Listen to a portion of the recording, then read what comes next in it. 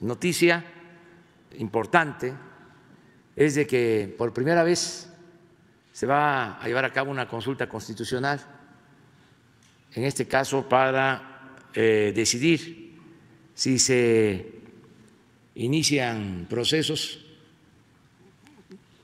garantizando derechos humanos en contra de los expresidentes de la República. Esa fue la decisión de ayer de la Suprema Corte de Justicia. Se aprobó que se lleve a cabo esta consulta. Se cambió la pregunta, es otra, pero ya se va a ir este, descifrando, porque es un poco genérica, vamos a decir. Al final es eh, sí o no. Ya la gente va a irla interpretando. Según entiendo, los que están porque se haga la investigación sobre el comportamiento de los expresidentes tendrían que votar por el sí. Y los que están en contra de que se lleve a cabo este proceso votarían por el no. Esa es mi interpretación. Y como hay tiempo, pues ahí se va a ir aclarando. Lo importante es que se resolvió que se consulte al pueblo, que se le pregunte a los mexicanos. Esa es la esencia de la democracia. Se apegaron los ministros al espíritu del artículo 39 de la Constitución, de que el poder dimana del pueblo y se instituye para su beneficio y el pueblo tiene en todo momento el derecho de cambiar la forma de su gobierno. Esa es la democracia. No solo representativa, sino democracia participativa. Hay quienes eh, dicen o se autodefinen como demócratas, pero no les gusta que se le pregunte al pueblo. Es muy peculiar su concepción sobre la democracia.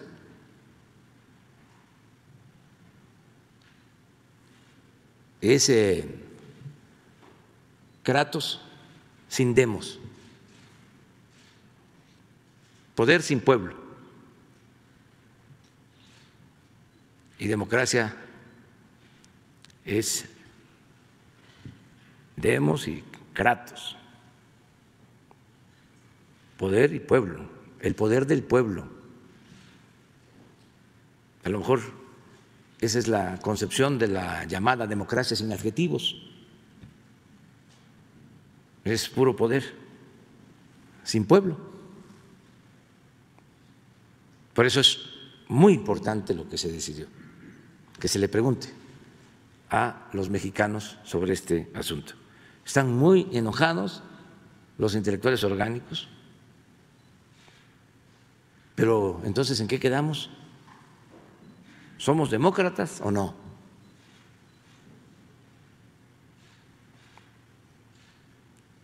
¿La política es asunto de todos o es nada más asunto de los políticos y de los expertos y de los del llamado círculo rojo? No cuenta la opinión de los campesinos, de los obreros, de la mayoría de los mexicanos.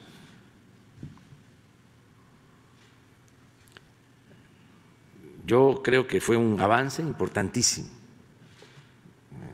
lo de ayer.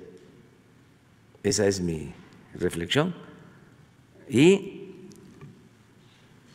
también que nadie se preocupe más de la cuenta. Nuestro pueblo es inteligente, es un pueblo sabio, Es un pueblo que sabe tomar decisiones y va a votar por lo que considere más importante para el país, para la nación.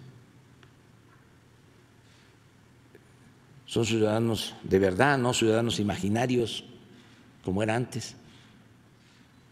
Entonces, celebro que esto haya sucedido. Presidente del Grupo Fórmula, André Meraz. Eh, ¿Se siente satisfecho o no con el cambio que hizo la Suprema Corte respecto a la pregunta?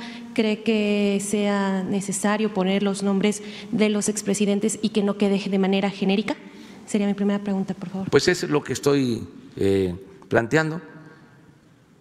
La esencia es que se aprobó el que se pueda llevar a cabo la consulta. Sobre la pregunta, a ver si la ponemos, es así muy eh, genérica, yo no diría abstracta porque ya sería este mucho, pero sí poco clara. Eh, ¿Estás de acuerdo o no en que se lleven a cabo las acciones pertinentes con apego al marco constitucional y legal para emprender un proceso de esclarecimiento de las decisiones políticas tomadas en los años pasados por los actores políticos encaminada a garantizar la justicia y los derechos de las posibles víctimas.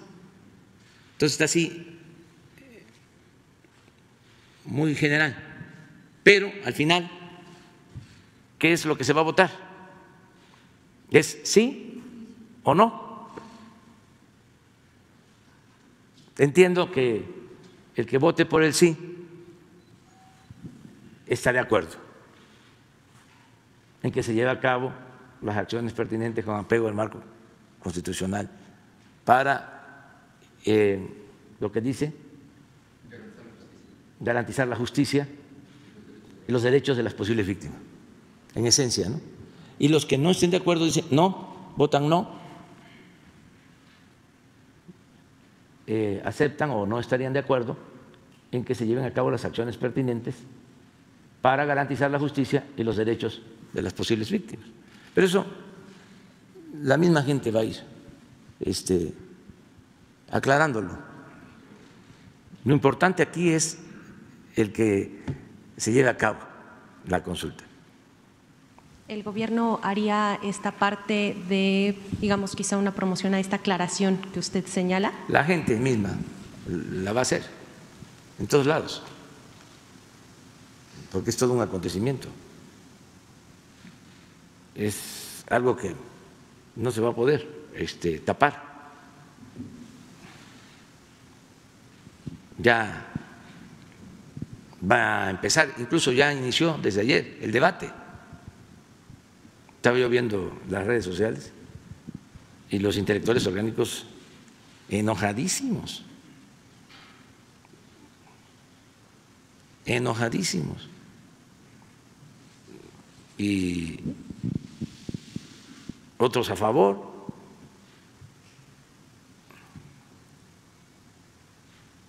También este, los partidos, el PAN, el PRD, los otros partidos, hablando de que presioné a la Corte.